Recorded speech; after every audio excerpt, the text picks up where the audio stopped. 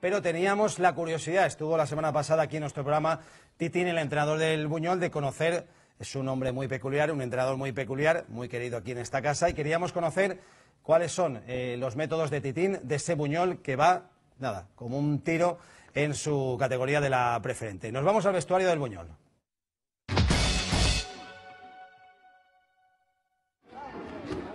Conociendo a Titín y cómo vive el fútbol, tengo muchas ganas de ver cómo se desenvuelve dentro del vestuario. Rafa.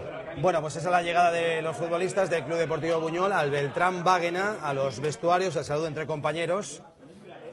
Siempre buen rollito antes de los partidos, un poquito de amistad, estirando las medias. Como Estás diciendo no, no, porque eran museros. Eran museros este fin de semana. Si hacer así, no, en la televisión no lo ven.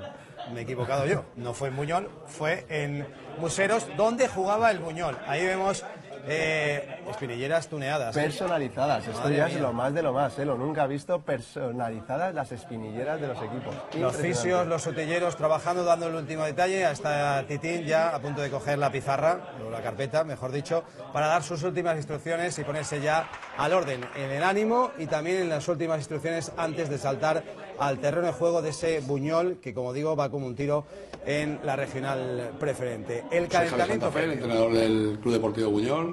Eh, solemos llegar una hora y media antes, eh, los futbolistas entran todos al vestuario, eh, a partir de ahí damos un cuarto de hora para que la gente vaya a tomar un café, faltando una hora y cuarto entramos todos al vestuario, damos la convocatoria porque solemos citar 17 por si hay algún problema normalmente por, el tema de la citación, Eh, damos un- una charlita motivacional de, un minuto, minuto y medio y le dejamos su, su espacio al futbolista. ¿no? Creemos que, es importante que, el futbolista asuma eh, y desempeñe su rol a la perfección. Nosotros entramos faltando 10 minutos para salir a calentar, a, a dar la, la salida táctica. Eh, hemos hecho todo el entrenamiento táctico durante la semana y, y simplemente es por dar cuatro pinceladitas de las acciones a balón parado y, y- y de, las, de las virtudes del rival para poder eh, solucionar esos problemas que nos cree.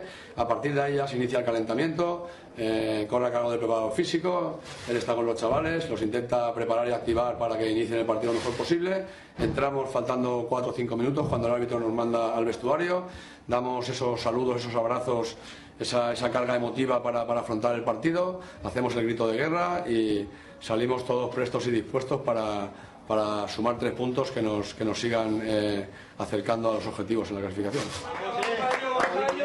Bueno, es buen técnico, pero además tiene pico, ¿eh? es mediático Titín y lo hemos podido comprobar, nos lo ha contado todo de, carrerilla, lo que pasa en los vestuarios en previo al partido en el Club Deportivo Buñol. Y además en primera persona, porque es protagonista antes de salir al terreno de juego. Va uno por uno, ¿eh? saludando a los jugadores de su equipo, dándoles ánimos y no te pierdas ahora ese grito de guerra que tiene el Buñol, ¿eh? porque como bien dices, es un vestuario y vemos a Eco, su capitán, que mira el grito de guerra con Titín a la cabeza.